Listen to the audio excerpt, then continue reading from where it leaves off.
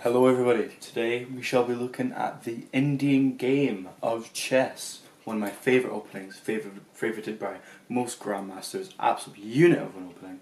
Today we shall be looking at the Indian game. First of all, starts off with d4 and we shall respond knight to f6. The whole point being is you prevent this pawn from coming here. And our next couple of moves will be uh, hopefully pawn here, uh, pawn here maybe, pawn here. Uh, today I shall be covering the King's Indian defense, which is one of the most solid openings in the game.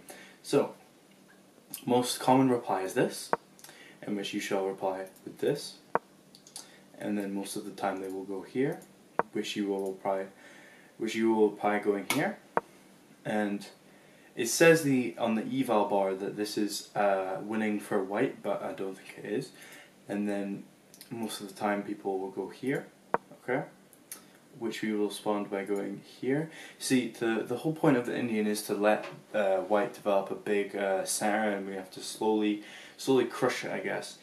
Um, so we go here, and white can push this pawn, uh, which will be a blunder, I think, actually, because uh, boom, I'll show you. Uh, so boom, takes, takes, and then we take this and we are simply up by 0. Point, sorry something's in the way 0 0.8 I think and so that will be a huge mistake by white and our next couple of moves will be simply uh, if they go here which is uh, quite scary uh, after here and go here uh, this is four pawns attack this is quite scary actually which we will reply by going I can't remember the reply actually. I'm pretty sure that um, here is okay, but I might be wrong.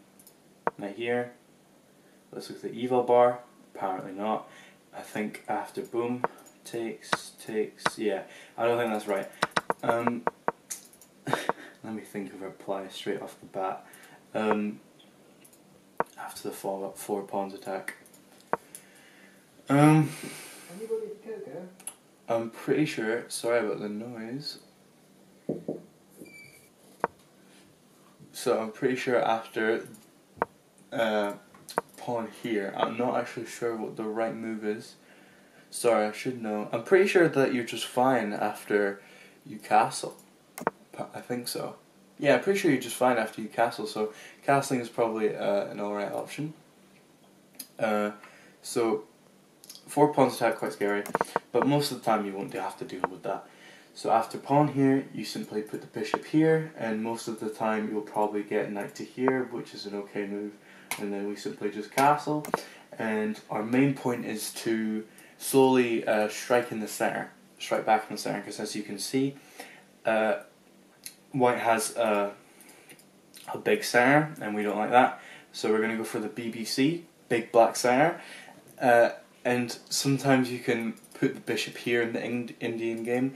Uh, there is a line called the Queen's Indian Defense, which is uh, quite similar to that. But anyway, so most commonly the move here is here, which is a fine move. Uh, we will respond by putting our knight here, the whole point being to strike in the center.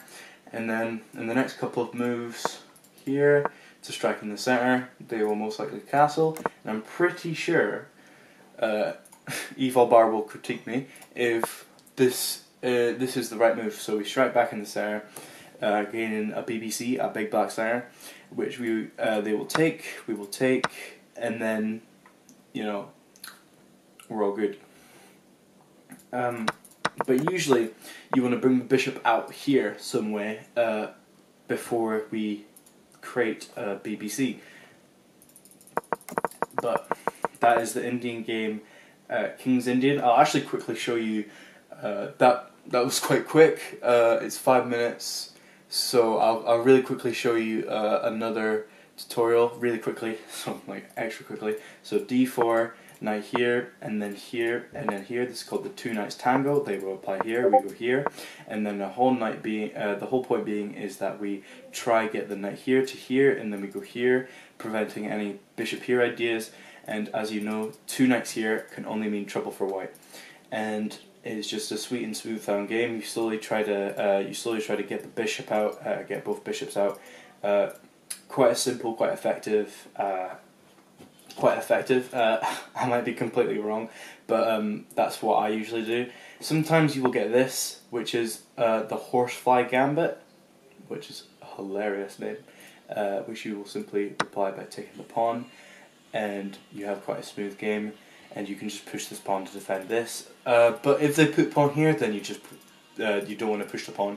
Uh, you mostly want to go back and just try and get the knight here somehow, because that's the whole point of the two knights tango. Alright.